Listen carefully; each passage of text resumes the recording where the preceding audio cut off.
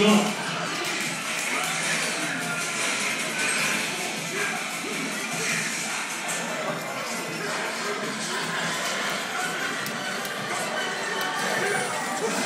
who is first as leader of the MVC3 franchise.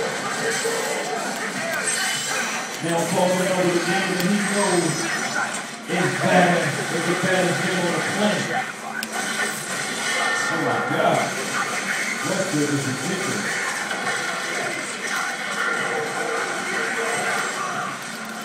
Legendary guy coming out here, something happened right here. This is it. This is great. The mechanical?